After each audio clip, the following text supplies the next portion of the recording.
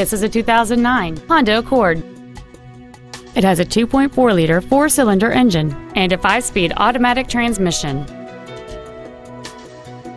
Features include a double wishbone independent front suspension, a low tire pressure indicator, traction control and stability control systems, a CD player, an electronic throttle, an engine immobilizer theft deterrent system, a passenger side vanity mirror, multi-reflector halogen headlights, cruise control, and this vehicle has fewer than 32,000 miles on the odometer.